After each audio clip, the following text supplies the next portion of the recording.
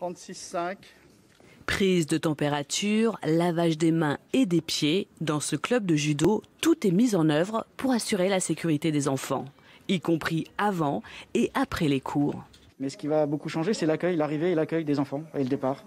Donc euh, les, les, parents étaient beaucoup plus présents euh, les années précédentes. Là, on va forcément exclure les, les, les gens du dojo.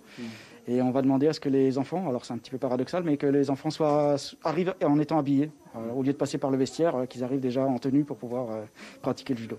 Autre mesure importante, les tatamis sont désinfectés tous les jours. Les professeurs, quant à eux, gardent le masque et les contacts entre enfants restent très limités. L'inscription est également repensée. Là, si vous le souhaitez, euh, vous avez le QR code que vous pouvez scanner. Désormais, tout se fait par Internet.